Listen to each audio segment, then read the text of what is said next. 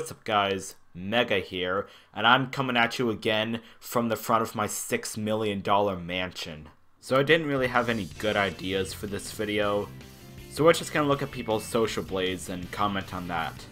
Ah yes, socialblade.com, the website that tells you everything you need to know about your favorite YouTubers. Uh, specifically how much money they make. So I thought it would be interesting to take a look at the social blade of some YouTubers I watch, see, see uh, how well they're doing right now. Or at least that's what I was originally gonna do, but then I decided let's meme this whole video by taking a look at by taking a look at YouTubers that I only watch ironically, and then see how much money they make. Alright, so here we go. Let's see here.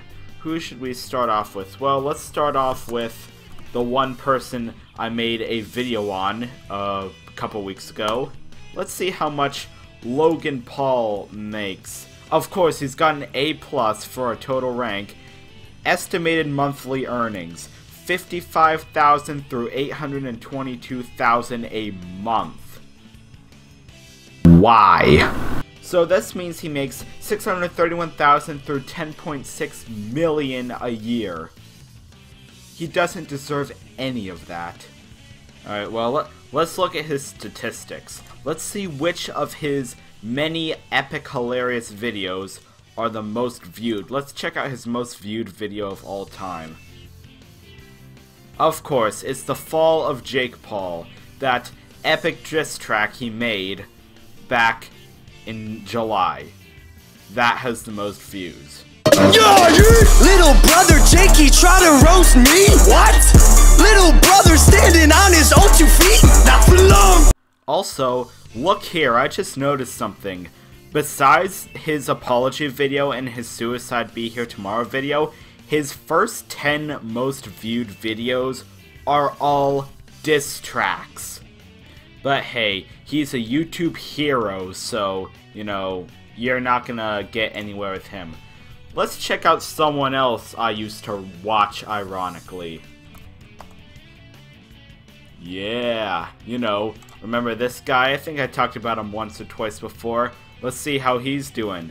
Total grade B minus. Wow. He makes $51 through $823 a month, which totals up to 617 through 9000 a year off of YouTube.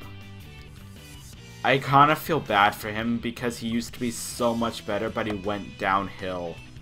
Like, FitMC was a really good YouTuber up until December 2016 when he hit 100k. Then he became a sellout. He just fully converted to to the Minecraft family friendly shtick that was going on, and just he went downhill so fast. His content died people still watched him for a while, up until around June 2017 when he had hit 150k. But after that, no, no, I'm gonna show you what happened. This is when he started gaining subscribers, around July 2016 when the Rusher war on 2B2T started. That's how he started gaining views. He uploaded actually good content about the oldest server in Minecraft, and it was legitimately good. Check out some of his old videos. They are interesting because he explain a bunch of history, and even though you may claim it's a bunch of 30-year-old men taking Minecraft seriously, you gotta admit, this is really good for history. It was really good content. So he had a steady flow of subscribers all the way through uh, October 2016, and then he really peaked at around uh, January 2017 uh, slowly started gaining subscribers. You know, kind of, kind of kept uh, at a standstill, steady for a while until around July. He hit 150,000 subscribers, or it was June, July 2017, June 2017. That's when he hit 150k, and then he was kind of lingering there for all of summer, and then the fall, he started dropping and now he is now below 150k, and now it's at 148k. That's honestly sad because he was doing so well in this area, in this era. He uploaded such good stuff right here. But what happened was, let's see, what was it? Right around here. Right around here. Dece uh, December slash January 2017. When his when he went from uh, creating his own original creative Minecraft and other video game content to becoming a sellout, moving into family friendly territory, and just catering to little kids, and as a result of that, his longtime fans lost interest, including me, and unsubscribed and stopped viewing him regularly. I really hope, because he was a good YouTuber, I really hope he goes back to what he did around this time, because this is when he was at his prime. I really hope he does, but for now, he's gonna just linger losing subs. I mean, if you want an idea on how fast he's losing subs, look at this! He is losing liter literal dozens of subs a day. This is the only plus I see for subscribers. He gained 7 subs on February 16th. He is losing an average of 33 subs a day, and in the last 30 days, he lost 1,006 subscribers. Even I don't lose subscribers that fast. In his most viewed video, the video that he ironically uploaded on 9-11, exploring the oldest server in Minecraft.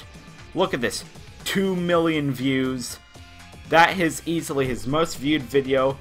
That video alone got him between $978 and $7.8 thousand. That pretty much caused him to blow up. That was September 11th, 2016. And even all these other videos, look at these other videos. These are all back from summer and early fall of 2016.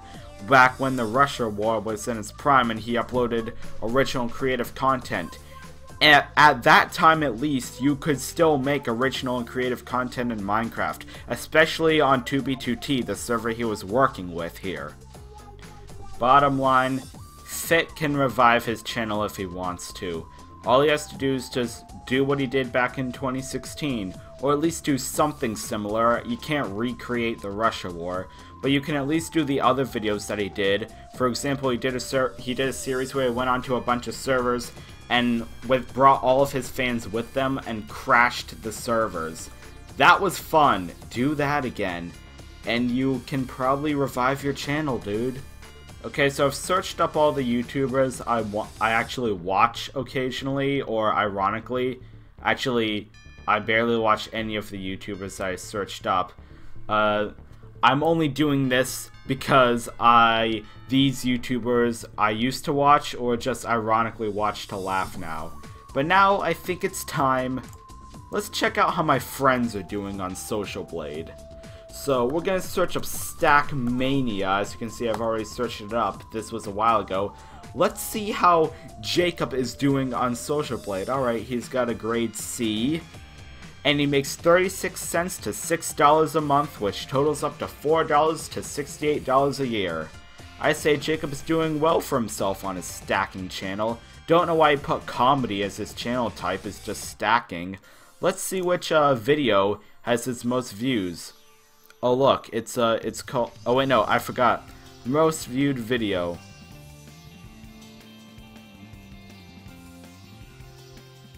Yeah. Make of that what you will. Uh, let's check out his uh, detailed statistics. Uh, well, he isn't really gaining any subscribers here that much, like one every few days, which is more than me. He's actually almost at 200 subs, which is actually pretty good. Uh, I congratulate you, Jacob. And uh, as you can see from uh, uh, December 2016, he's slowly but surely increased in subs. Uh, he's actually not really at a standstill right now. His subs are slow but consistent. So that's pretty good. Uh, I'm happy for you, Jacob. I am happy for you. Alright, let's look up... Let's check another one of my friends. Yeah, let's see how Lily is doing. Well, her total rank is a D, and she earns 2 cents through 35 cents a month, which totals up to 26 cents through $4 a year. Her channel type is games, even though she uploads art stuff very rarely at that.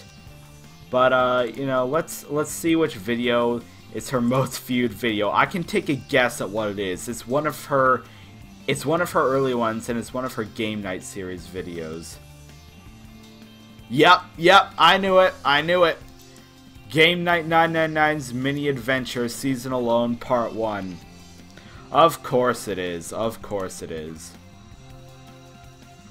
And uh, let's check out her detailed statistics, see uh, how her subs are doing. She has gained literally no subs in the past 30 days. And, whoa, okay, her total sub count is a bit whacked up here. So it's been pretty even throughout uh, early 2017 and fall of 2016. Spiked here and there, but then when she came back, when she joined us again in July 2017, that's when it started to spike. Look, and it spiked up. This was at its highest point here, uh, uh, early November 20, uh, 2017 when she had like 33 subs and now she's down to 32 and it's been at a standstill ever since. So this is actually the most inconsistent um I mean look at this, all the other sub counts were consistent. This one has no consistency whatsoever. Interesting. Okay, two more people I want to check out. Let's check out Loof the Oof. Let's check out Vicente see how many subscribers he has. Here we go.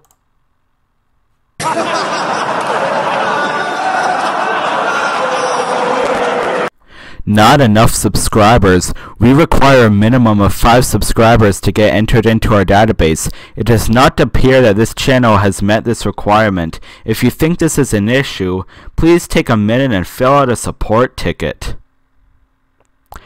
Vicente literally doesn't have enough subscribers to be on Social Blade yet.